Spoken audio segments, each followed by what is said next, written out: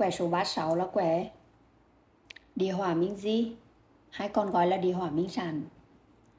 Quẻ này có tường là gái góc đầy đường. Mình là Duyên. Mình sẽ giải mã hết 64 quẻ dịch ở trong bộ bài kinh dịch này.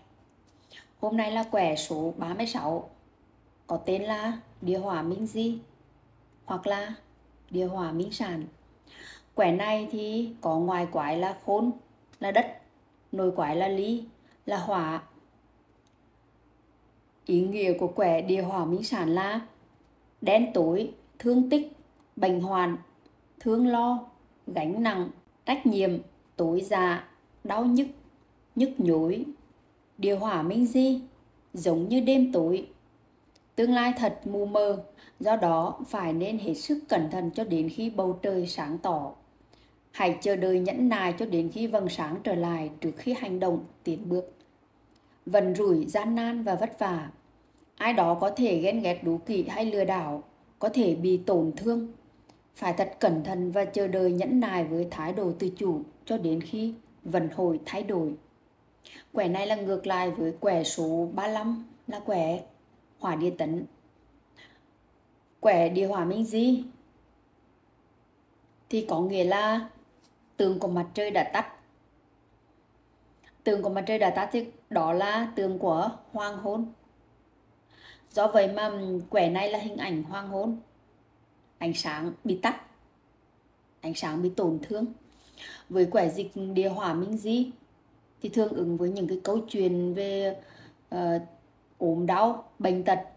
Trong cái quá trình duyên quan sát nghiệm chứng và ứng dụng quẻ dịch thì đến cái giờ này thường hay gặp những cái câu chuyện về uh, đau ốm. Ừ, có thể là một người bạn của mình một người thân của mình um, bị đau ốm bị đi viện hoặc là đi thăm người đi viện cũng ứng. Lưu ý bạn một điều quẻ này có tường là tường của gái góc đầy đường là tường của sự nguy hiểm còn hình ảnh là hình ảnh ánh sáng bị tổn thương.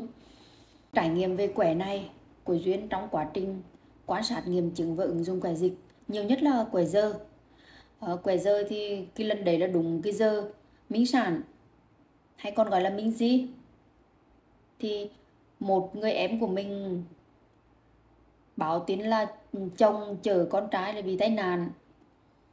À, cả hai bố con đều bị tai nạn. Thì đúng cái giờ đó nhận được tin bị tai nạn. Hoặc là những cái lần khác đúng cái giờ minh sản và mình gọi điện cho một người bạn. Thì người bạn đấy là đang đi thăm một người ốm ở bệnh viện.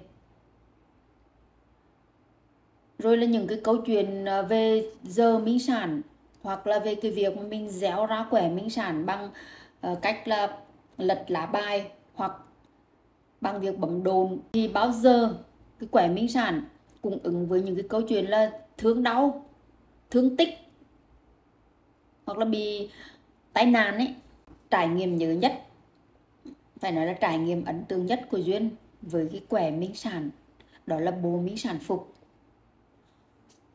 Lần đó là nhà duyên đi du lịch. Khi quay về đúng cái giờ minh sản phục thì cái cảnh tường bay ra trước mắt là cái con con cún nhà mình nó cắn nó cắn đứt cổ cái con vịt con vịt con con vịt con con gái duyên lần nuôi được mấy tháng rồi và gọi là minh sản phục là vì cái cảnh tượng này là cảnh tượng lặp lại lần thứ hai. Là cái cảnh đau thương quay trở lại.